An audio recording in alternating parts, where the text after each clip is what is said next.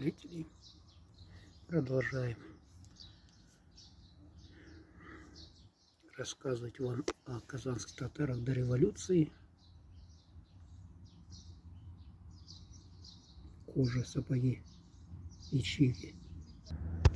У меня время ограничено. 10 минут осталось, поэтому я постараюсь быстренько. К праздникам же можно причислить свадьбы, я там рассказывал, которые тем более нередки что каждый мусульманин может разом иметь разом четырех законных жен, не говоря о неограниченном числе наложниц. Впрочем, надо заметить, что только немногие из богатых татар имеют более двух законных жен, а бедные более одной. Вторую жену обыкновенно берут тогда, когда первый состарится. Свадьбы у татар обыкновенно устраивается через свах. По закону запрещено жениху видеть невесту, прежде чем он, она сделается его женой.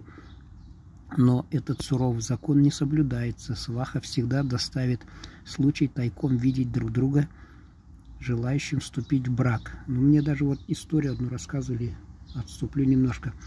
Парня сватали, и он говорит, покажите невесту. И провели там, в общем, в окно он пошел, посмотрел, а как девушка прошла колодца за водой, он посмотрел, понравился она, решил, согласился жениться, а потом на свадьбе или на никахе он узнает, что это и, в общем, смотрину устраивали ее сестре красивой, а некрасивую ему подсунули. Ну, такое бывало. Вот. Когда жених так или иначе облюбовал невесту, он посылает сваху. В случае согласия договариваются колыми, которые иногда доходят до 1000 рублей. В советское время уже чисто символическое было. У меня 75 рублей, что ли, заплатили за невесту моего брата одного. Половина колыма платится при помолвке, а другая после свадьбы и удерживается родителями невесты на случай развода. Со дня помолвки жених посылает своей невесте разные подарки. Они идут, однако, в счет Колыма. А в день свадьбы, как непременный подарок, катку меду и катку топленого коровьего масла для свадебного пира, который тем и начинается, что подают на блюдах мед и масло. Гости намазывают того и другого на хлеб и едят с величайшим наслаждением. Свадебные пиры назначаются за неделю до брака и бывают ежедневно по очереди у родных жениха и невесты. Один день собираются женщины, другой – мужчины. Невеста не участвует в пирах, и жених со времени помолвки не ходит в дом невесты. Все эти пиры и праздники чрезвычайно скучны и продолжительны, особенно собрание женщин, которые – нарядившись с возможной роскошью, усаживается, поджав ноги на ковры, разостланные по полу, смотрят друг на друга, бесконечно говорят о нарядах и при всем этом едят с замечательным аппетитом. Пир, впрочем, только и состоит из непрерывной еде. Состоит в непрерывной еде, но недаром обходится это угощение. Каждая приехавшая гостья должна подарить что-нибудь невесте, если, впрочем, она имеет на это средства. Бедные, напротив, разрядившись в чужое платье, приезжают на эти пиры и сами получают денежные подарки. По осмотре подарков начинается угощение, чай, разные сласти и ужин, открывающийся тем же медом и маслом. Затем следуют пироги, пилавы, жаркие и пирожные, всего до 20 блюд. Все прижирные и ни одно блюдо не пропускается. Такие пиры длятся по 10 и более часов.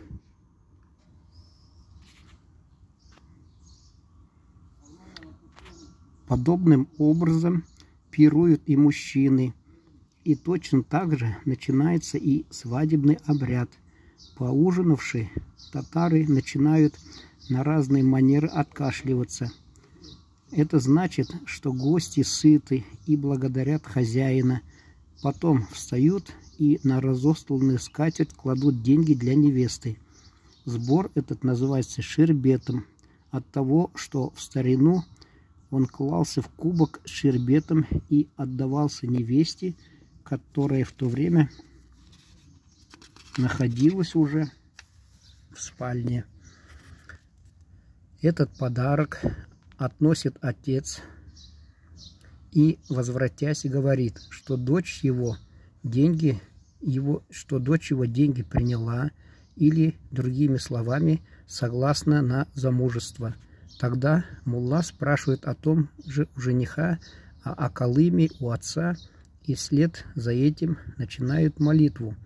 После мулла говорит, по повелению Бога небес и миров, Творца света и тьмы, и по суннету великого пророка Магомета Мустафы, да будет благословение Бога над ним и над всем его семейством по правилам секты имама Азима и по соглашению имама Абу Юсуфа Ал-Кази и имама Магомета, сына Аль-Хасана и прочих имамов при свидетельстве присутствующих знатных особ при согласии обеих сторон и при стольких-то рублях Колыма такой-то в скобках отец невесты, соглашается выдать свою законную дочь, давшую на то доверенность, в скобках отцу и родственникам, тому-то в замужество по правилам мусульманских вероисповеданий за такого-то. Вопрос это, как вопрос задает. Ответ согласен, выдаю. Ты такой-то. Отца жениха имя называют доверенный со стороны сына своего, соглашаешься ли взять такую-то, дочь такого-то, при таком-то количестве колыма законное замужество за своего сына? Ответ. Согласен, беру. Вот у нас предки при Елизавете, я сказал, они были в свое время, как сказать, депортированы, не депортированы, как по нынешним временам сказать нормально, переселены из Казанской губернии в Оренбургскую губернию. Там Ситу, Слобода, ныне татарская Каргала. И вот оттуда они потом были рассеяны по области. Переволодский, Новосергийский район, Илекский район и наш Солилецкий. И наши предки вот жили до революции отдельным частью села. И летописец Лисицын русский описал это. 40 лет э, село существовало до революции. Потом как, э, базары там собирались. Аж с Каспи караваны приходили. Э, село процветало. Больница с паровым отоплением. Училище там мусульманское. Мечеть каменная огромная. Церковь деревянная. И много было там всяких хозяйственных помещений, домов купцов. Некоторые сохранились по сей день и служат хозяевам все еще. Вот э, наши жили на татарском краю лишь в голодный, там, 22 год очень много вымерло. И село уменьшилось, татарская часть, татарская часть села, естественно, уменьшилась в численном составе. Ну вот, а несмотря на это, я с детства помню, что обычаи соблюдались. И в советское время тоже мулла, никах читал, как положено. И собирались на намазы Э, значит, на ифтары собирались у мусульман, у татар, у казахов, и потом гаит намаза читали, несмотря на то, что был парторг, не здесь, конечно, был парторг там в селе, и мечеть нам не давали, если бы тогда в то время съездить в Москву, может быть, и отдали, но вряд ли в селе разрешили бы открыть, как в райцентре, мечеть. И вот э, гаит проводили в то время Русские проводили Пасху, конечно, соседи, помню. Но у них не собирались, и сейчас вот зданий церкви нет у них. Вот, что хочу сказать. Следующая часть будет заключительная. Как раз тема печальная там. Проводы, как говорится, последний путь у татар, мусульман. Единственное, вот хочу акцентировать внимание – когда-то писали в советское время, что благодаря революции татары получили письменность. Это вообще надо человеку быть этот без мозгов, чтобы такие вещи писать. Вот. Благодаря магометанской религии у татар есть письменность, а благодаря этой последней татары стоят по развитию выше всех прочих инородцев. Мало того, их следует поставить выше самих русских, если, впрочем, будем сравнивать с собственной народной массой. Я уже говорил об этом, что Владимир Ильич Ленин это отмечал, о том, что у татар самый большой охват. Э, у них были вот в мечетях учили об стай девочек, а мулла учил там мальчиков. И самые способные отправлялись учиться в Египет, в арабские страны, в общем, в, Пер, в Иран, в Персию, значит, в Турцию. И до 15 лет даже некоторые учились. Ну, на этом мы заканчиваем очередную часть нашего видео. Время у нас выходит. Всего доброго, спасибо за внимание.